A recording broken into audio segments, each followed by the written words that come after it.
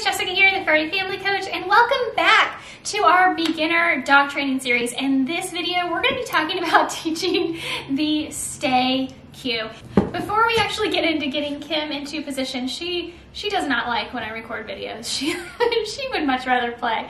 Um, so really quick, before we get into actually getting Kim into position and working on stay, I want to let you know that this video is a two-part series. So this is the first video of a two-part video series.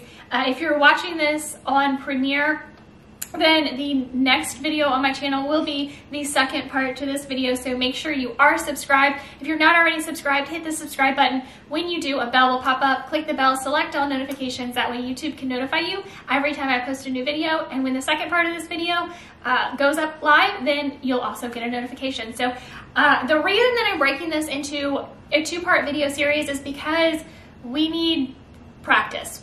We need to start training the stay cue in one position before we can actually start adding distance. So uh, what I mean by that is actually getting our dog to understand what stay means. And this can take some time. And of course, this is gonna vary um, with every dog. Every dog is different. But before we can actually start adding distance, we need to get really good at what the stay cue means and uh, it, again, if I know I've said this in my other videos, but if this is the first video you are seeing in the beginner dog training series, I highly recommend you check out the the whole playlist from the beginning. The link is in the description below. And the reason that I want you to do this is because we're building a bond with our dog. We're building a communication pathway with our dog. So as you go through the beginner dog training series, you're going to start seeing that you and your dog are understanding each other a little bit better every time you train. And that's the whole point. And guys, that's the key to any good training routine with you and your dog is that building that trust, building that communication between you and your dog. That's what we want to be doing. And so I definitely want you to start from the beginning, even though you may see something that seems super easy that you're like, I don't want to waste my time on this. You're not wasting your time, I promise you, because you're building trust, you're building a bond, you're building communication with you and your dog, and there is nothing that can replace that in the entire world. And you're gonna notice if you have multiple dogs, or if you start training with your dog now and you know 10 years down the line you have another dog and you come back to these videos or you remember what to do and you start training with that dog, you're gonna notice that every dog is different. And the way our dogs communicate is very, very different. And I've had multiple dogs in my lifetime thus far, and I can tell you with, and I have trained so many dogs. I mean, I have trained hundreds of dogs, and every single one of them is just a little bit different. Of course, there are things that are going to be similar between dogs, body language and, everything that's just genetically bred into a dog, what they get from their canine ancestors, that's going to be pretty similar. But every dog is different. Some dogs are more gent more gentle than others. Some dogs uh, are, you know, just love to roughhouse. Some dogs are very vocal. Some dogs are very quiet. And learning your dog is going to make or break your training. So I definitely want you to start from the beginning of the beginner dog training series. So the link again to the playlist is in the description below. Start from the beginning and you will quickly work your way back up to this video. Um, and I really, really highly encourage you to do that if you are just starting out. So let's talk about the stay cue. And in all reality, there are three phases of the stay cue. We learn what stay means, right? So we teach our dog what we expect them to do when we say the word stay, or I'm also gonna show you, I we put our hand up flat like this, like a stop sign. So, and, and again, this is something I do with every dog regardless. And I have talked about this in, in previous videos. Even if your dog is not deaf, even if your dog can hear, I really highly encourage you to incorporate hand signals. And the, the primary reason is because we never know. Right? We could wind up adopting a dog tomorrow that is deaf, that was born deaf, or something unfortunate happened to them and they are now deaf. Um, also, as dogs age, it's just one of the facts of life. Sometimes things happen. You know, eyesight can go, hearing can go. So you definitely want to make sure you are doing vocal cues and hand signals whenever possible. If, even if you don't start out with hand signals, you can always start adding them in. Your dog will start picking up on it. If your dog already knows a verbal cue and you start incorporating a hand signal, your dog is going to really understand so much quicker what that hand signal means. So I would encourage everyone to not just do vocal cues, but also to use hand signals. I think it can really come in handy. So like I was saying, there are actually three, three different uh, segments of learning a stay cue. The first one, as I was just saying, is actually learning what we want out of them when we say stay or when we put our hand up like this. This is, this is our um, hand cue for stay. Learning that is going to be the first step and that's primarily what we're gonna go over in this video. Once we get good at that, once your dog is really understanding what you want, then we're going to start adding in distance and once we get good at that, we're gonna start adding in distraction. So that's gonna be part two. So uh, definitely make sure that you watch this video first, then the next video, the part two video, where we add in distance and distraction. Uh, but again, if you are brand new to the Beginner Dog Training Series, check out the playlist in the description below. Uh, real quick, because I actually haven't even introduced myself yet. My name is Jessica. I'm the Furry Family Coach. I'm a pet parent coach and positive reinforcement dog trainer. Thank you so much for being here. My channel is all about dog training, dog behavior, canine nutrition, canine enrichment, and I do throw some things in here and there about cats when I'm asked to because I am a pet parent coach after all. So if any of that is up your alley, go ahead and click that subscribe button. Again, when you do, a bell will pop up. Click the bell, select all notifications. That way YouTube can notify you every time I post a new video. Also, if at any point during this video you're like, man, this is cool, I really like this, please show some love and give it a thumbs up. I would really appreciate it. And it helps you, the YouTube algorithm to know what kind of videos you like and to know that I'm doing a good job on my channel. And that is so very important. I appreciate each and every one of you for being here with me today. And even if you are not watching this on Premiere, if you're watching this later, make sure to post your comments below. I love to answer your questions, hear what you're thinking, um, get a feel for what you're here for, why you clicked on this video. Post that in the comments below. I'd love to hear from you. So let's get into actually training a stay cue. All right, so I've got my training treats here and I I made the mistake before filming this video. I went to Chick-fil-A for lunch and my dog got a piece of a chicken nugget. And so now I know that was too high of a value for to get, be able to give her lower value treats right now. And since I am recording a video I cut up part of a nugget into teeny tiny little bites. And that's what we're going to be using as training treats uh, just so I can show you in this video how we do a stay. And again this is a part one of the stay where we're going to be working in close contact with our dog. We're just going to get down the behavior that we want. We're not going to be adding distance. We're going to try to get uh, increase our duration at this point, but we need to start with even just a second. So what we want to do is get our dog into a sit position. And then what we're going to do is give the cue stay and simultaneously put our hand out like a stop sign like I was showing you previously. It's just a flat palm. This is the hand signal that I'm going to be using in conjunction with the verbal cue, which is stay. And as long as your dog stays, even for a second, we're gonna reward that. We're gonna praise them, we're gonna give them a treat. Um, now, if your dog is not very food motivated, try a higher value reward. And if they still are not very food motivated, find out what does motivate them. Maybe it's play. Maybe they have a favorite toy or a favorite ball that they really love. You can use that as a reward.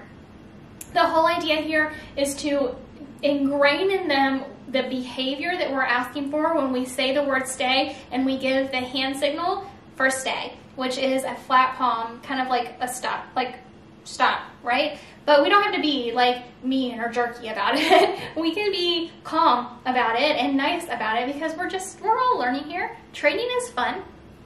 So what we're gonna do is get our dog in the stay position and I'm gonna lure her into position. So come on, sweetie, get over here. And To sit. Yes, Yes, good girl. All right, so I rewarded her for getting into position, for luring her into position, and for that sit. So now I'm just gonna say stay. Yes, good job. So as long as your dog stays in that position, we want to reward that. And we want to gradually start increasing to two seconds, to five seconds, to six seconds, up until we can get to about 30 seconds. 30 seconds is a long time. Count in your head if you need to. But what we want to do is get our dog to stay and gradually increase the duration. So I want her back in a sit. So stand.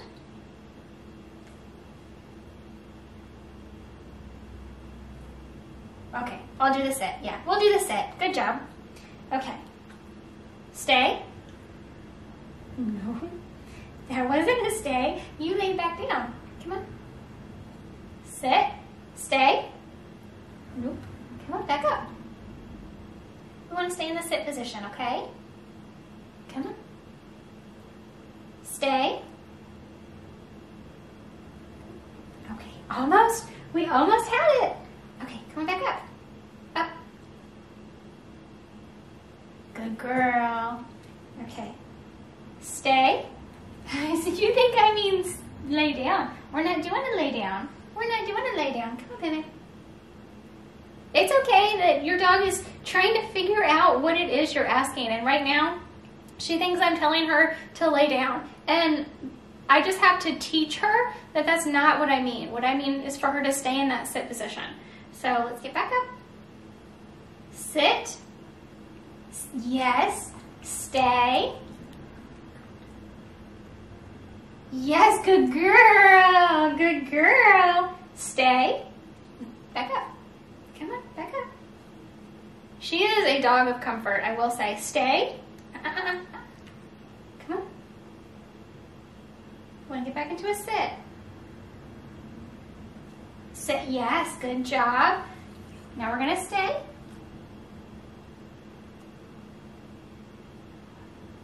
Five, six, yes, good girl. That's my good girl.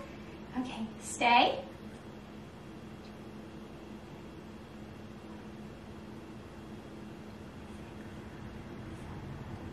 Eight. Yes, good girl. So we're just increasing the duration. So she's starting to understand that I don't want her to lay down, that I want her to stay where she is. So as soon as I turn around and talk to you, she's gonna lay back down because she is a dog of comfort. Believe me, she seeks out comfort above all else. So let's see if we can get her back in a sit. Sit. Yes, that's my good girl. Stay. Yes, good job. Good job. Stay.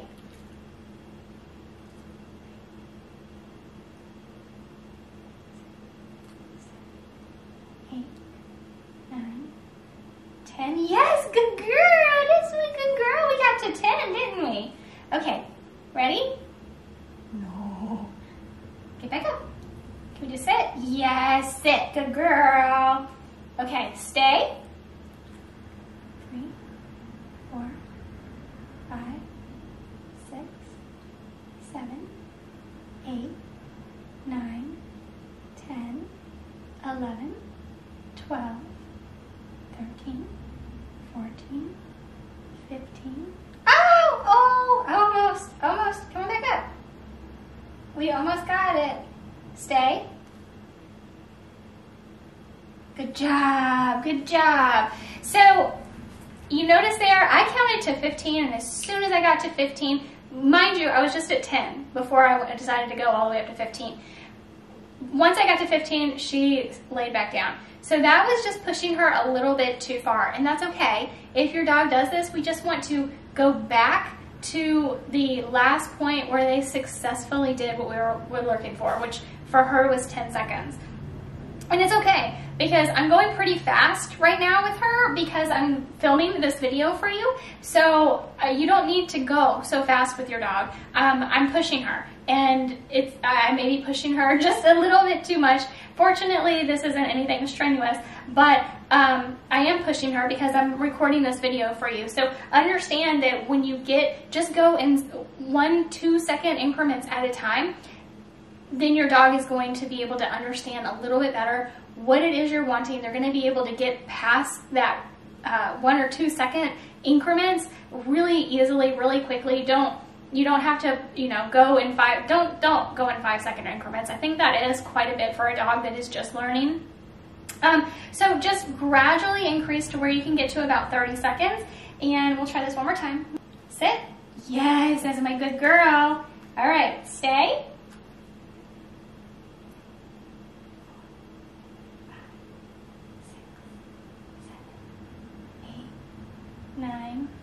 Oh, almost. Okay, we want to sit? Yes, good job. Okay, last one. We're to stay. Yes, good girl. This is my good girl. Okay, um, we're all we're all done. We finished the treats, so we're done with training for the moment. Okay, so that is the idea. That is how we start teaching our dog how to stay. We're just teaching them what behavior we expect when we give a certain cue word, which of course you saw me, I'm doing the hand signal as well as the verbal cue for stay. And so that's all we are trying to do right now. We're trying to teach them what behavior we expect for that particular cue word and increase duration slowly. So that's what I want you to work on at this point. Um, and I definitely want you to work on this for at least a few days. Don't overdo it. And I know I've said this before in other videos, training sessions should only be about 10 or 15 minutes at a time at the most. I don't want you getting frustrated. I don't want your dog getting frustrated. I don't want either of you getting bored. Uh, so really limit it to about 10 to 15 minutes at a time. And of course you can train different things in that one 10 or 15 minute training session. Um, so you can kind of keep things fresh and new for you and your dog in a training session. Don't work on the same thing for 10 or 15 minutes. You and your dog are going to get either frustrated or bored, and we don't want that. We want to always end on a high note. So when you are ready to end your training session, make sure you end with something that is pretty quick and easy for your dog to do. That way you can provide them with a reward and praise and you are ending on a positive note. Uh, again, this is part one of a two-part series. So in the next video, we will be talking about how to increase distance. So once we get down the duration with our dog, we want to start increasing that distance between you and your dog with the stay cue. So I will see you in the next video. Really quick though, before we go, don't forget to hit that subscribe button if you haven't already. Um, when you hit the subscribe button, a bell will appear. Click the bell, select all notifications. That way YouTube can notify you every time I post a new video. Thank you so much for being here with me today. I truly appreciate each and every one of you every single view I get on every single video. I really appreciate it. And don't forget to give this video a thumbs up. It really helps the YouTube algorithm and it helps out my channel. So uh, also leave a comment in the comments below. I'd love to know why you're here. Tell me about you and your dog. Tell me about what you're working on, why you're working on training. Maybe you just got a new puppy or you've had a dog for a while and you're realizing that you should have started training and now you're gonna go ahead and start training. Uh, it is possible to teach an old dog new tricks. So um, definitely let me know in the comments below while you're here. I'd love to learn more about you and your dog. And if you haven't, my goodness, there's also a link in the description for my group. Join the family. That way you can share pictures and video. Let me know what you and your dog are up to. Let me know uh, what you're working on. Maybe things you're struggling with. Let me know about the wins. I want to be able to help you. So definitely check out the description below for a link to join the group. Thank you again so much for being here with me in this video and I'll see you in part two. Hey, thanks for watching. Make sure to give this video a thumbs up and subscribe to my channel so you never miss another video.